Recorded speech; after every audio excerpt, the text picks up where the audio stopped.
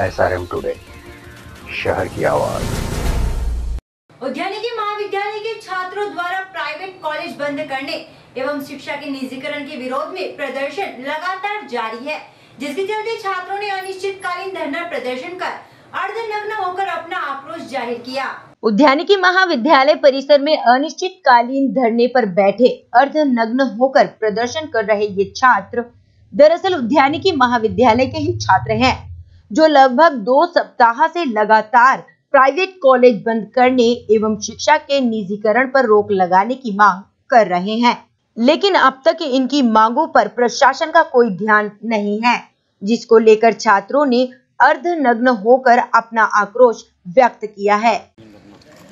भारत माता की जय! भारत माता की जय! बंद करो बंद करो प्राइवेट कॉलेज बंद करो बंद करो बंद करो प्राइवेट कॉलेज बंद करो हमारी मांगे पूरी करो हमारी मांगे पूरी करो देश का कल्चर हॉर्टिकल्चर देश का कल्चर हॉर्टिकल्चर अरे शिक्षा के दलाल लोग को जूते मारो के दलाल लोग को जूते मारो सालों को नहीं चलेगी नहीं चलेगी तानाशाही नहीं हो प्राइवेट कॉलेज बंद करो कृषि मंत्री हाय हाय कृषि मंत्री हाय हाय सचिन यादव मुर्दाबाद सचिन यादव मुर्दाबाद हम अपना अधिकार मांगते नहीं किसी से भीख मांगते हम अपना अधिकार मांगते नहीं किसी से भीख मांगते भारत माता की जय भारत माता की जय जय जवान जय किसान जय जवान जय किसान अरे अभी तो ये अंगड़ाई है आगे और लड़ाई है अभी तो ये अंगड़ाई है आगे और लड़ाई है अरे मुर्दाबाद मुर्दाबाद सचिन यादव मुर्दाबाद मुर्दाबाद मुर्दाबाद सचिन यादव मुर्दाबाद तानाशाही नहीं चलेगी नहीं चलेगी प्रशासन की ये मनमानी। नहीं चलेगी नहीं चलेगी। सचिन यादव। मुर्दाबाद।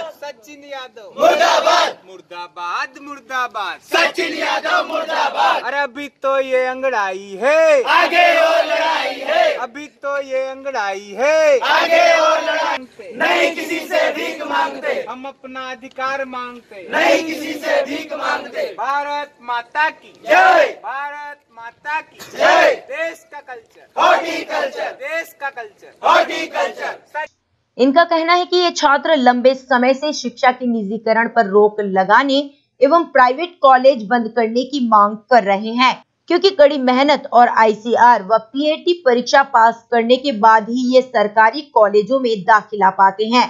लेकिन प्राइवेट कॉलेजों में पैसे के लिए बिना परीक्षा फाइट किए ही छात्रों को प्रवेश दिया जा रहा है और उन्हें सरकारी नौकरियों में समान अवसर दिए जा रहे हैं, जो कि गलत है और सरकारी कॉलेजों के छात्रों के साथ नाइंसाफी है।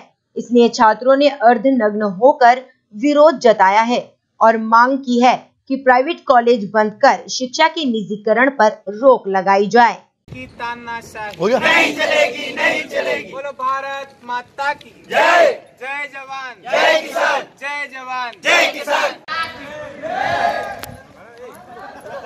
Private college. बंद करो प्राइवेट कॉलेज।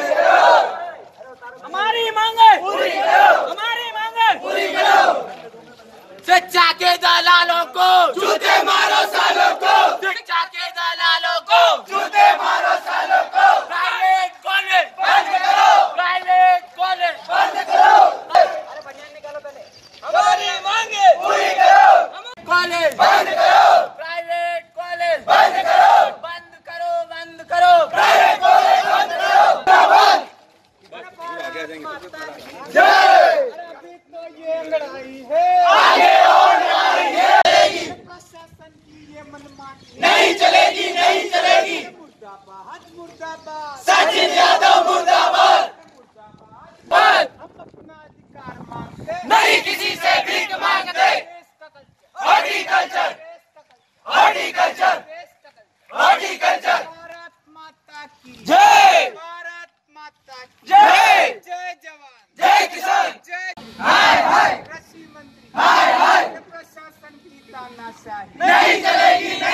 कौन सा कॉलेज और किन बातों को लेकर अनिश्चितकालीन हड़ताल यहाँ पर की जा रही है? हम क्या ये- आपकी? म- प्रदेश का एकमात्र उद्यानिकी महाविद्यालय है जो कि मंदसौर में स्थित है और लगभग हमें दो सप्ताह हो गए हैं जो हम ये अनिश्चितकालीन हड़ताल हमने कल से चालू की। इससे पहले हमने सचिन यादव जी का पुतला फूका था और यहाँ से पैदल मार्च गांधी चौराहे तक निकाला और हमारा एक प्रतिनिधिमंडल वो स्वयं सचिन यादव के पीए से और उनसे जाके मिला परंतु वहाँ से हमें कोई उपयुक्त कार्रवाई नहीं मिली इसलिए हम अभी अनिश्चितकालीन हड़ताल पर बैठे हुए हैं। कब तक चलेगी हड़ताल? ये हड़ताल जब तक हमारी मांगे पूरी नहीं होगी तब तक चलेगी और हमारी मांग ये है कि जैसे कि अगर मान लो पीएमटी वगैरह में प्राइवेट कॉलेज खुल रहे हैं परंतु हमारे इधर यदि खुलते तो एक भारत सरकार की सर्वोच्च संस्था होती है जिसे भारतीय कृषि अनुसंधान परिषद कहते हैं।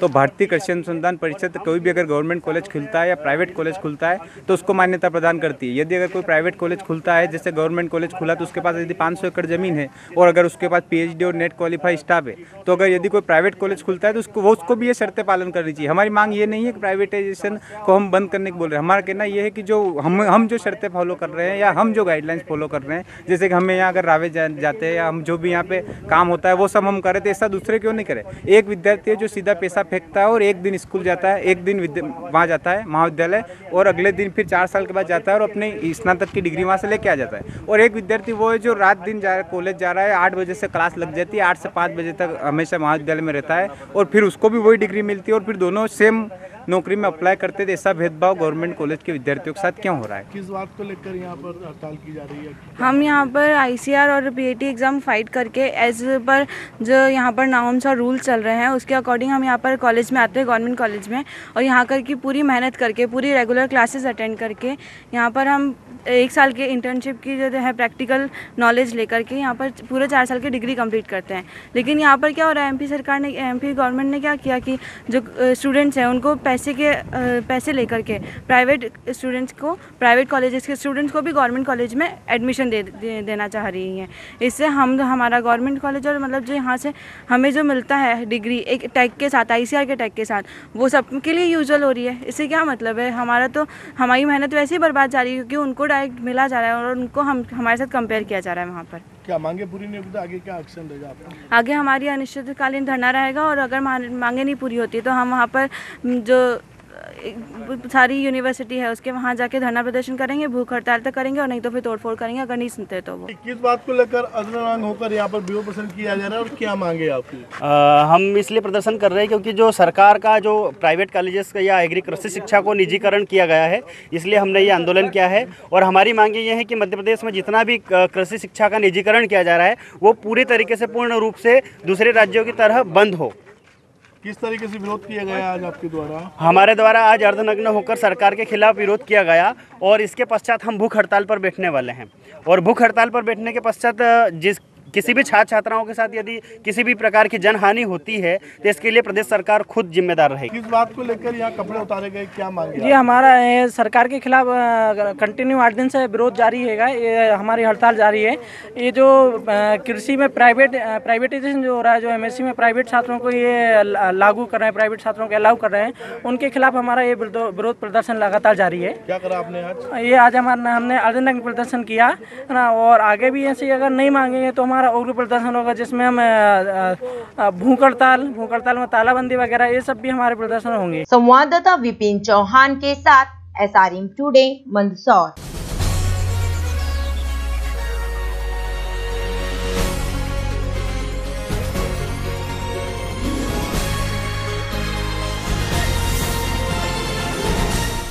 S R M today शहर की आवाज़।